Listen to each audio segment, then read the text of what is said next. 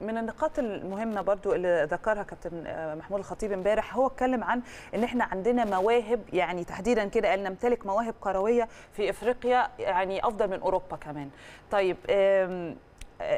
لو اتكلمنا شوية على المواهب اللي عندنا ولو جينا قيمنا اللعيبة عندنا آه، بتقيمهم إزاي؟ أو كابتن فتحي نصير بيقيمهم إزاي بمنتهى الصراحة؟ بتشوف اللعيبة بتاعتنا دلوقتي إزاي؟ لأن أنا لما أجي أقيم خطأ حصل وتحديدا مثلا على إثيوبيا وربنا يستر على كوريا ما أقدرش ألوم بس جهاز فني ما أقدرش ألوم شخص. ففي منظومة كاملة وفي لعيبة برضو للأسف هقول إن هم لهم دور في ده. هو يمكن كابتن محمود كان يقصد أن القارة مليئة باللاعبين الموهوبين على مستوى مش شرط مصر. مش ما أنا ضمن القارة. آه، ما ما أنا بتكلم على لعيبتي بقى لا على ما أنا هقول لحضرتك يعني هنبقى فكان هو كان كلامه إن القارة قوية القارة مليئة القارة غنية بأبنائها بلاعبيها بمواهبها. وإن الفرق أو اللاعبين المنورين داخل أوروبا والدوري الأوروبي في جميع كده. معظمهم من. الأفارقة. فبيقول لابد أن يكون في نظرة للاتحاد الإفريقي أن أنت اتحاد قوي لا تقل عن الاتحاد الأوروبي لكن التنظيم لازم يكون آه، النقط اللي قالها واضح وحط لهم نقط في الكلام ده كله. نيجي بقى للنقطة بتاعتنا إحنا كمنتخب مصر. آه، بدون بدون آه، يعني أنا مش عايز أقول تحيز أو أقول أكون قاسي للأسف الكرة عندنا في مصر صناعة مع احترامي آه. إعلامية. صناعة إعلامية. يعني إيه؟ اللاعبين عندنا لا يساووا هذه الضجة. لا يساووا هذا المال اللي بيدفع ده له كلام محترم وك- و- و- ومش سهل إن حضرتك لا تقوله. ما أنا بقول إيه، ما آه. يساووش هذه المبالغ اللي بتدفع لهم.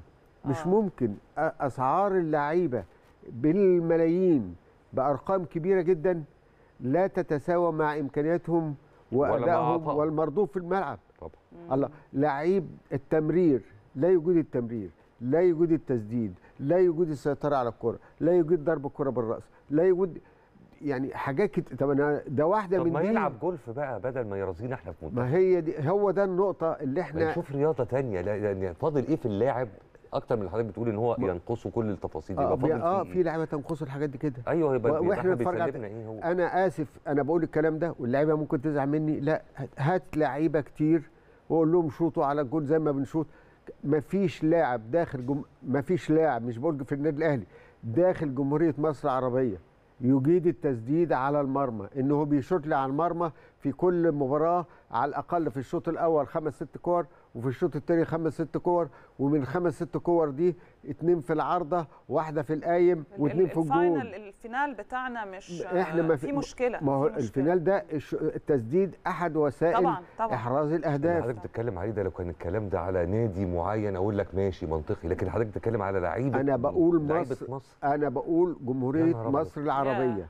ما في واحد يقول لي اللاعب ده عنده هذه المهارة. وبعدين إيه؟ المهارة دي طبعا لو هي عندك جات لك مرة صدفة مش هتعتبر مهارة المهارة هي اللي تكرر. إن تقدر. تعملها مرة واثنين. وثلاثة فيها استمرارية. طبعا. لاعب قعد مثلا إيه؟ ثلاث أربع أشهر مستواه ثابت. ده أنا بتمنى لاعب بيلعب ثلاث أربع مباريات مستواه ثابت. مش ثلاث أربع أشهر مستوى ثابت. وبعدين إحنا عندنا طول ما في الدوري عندنا بطريقة الدورة الرمضانية فده طريق يا نهار طبعا. كابتن فتحي. النهارده بي...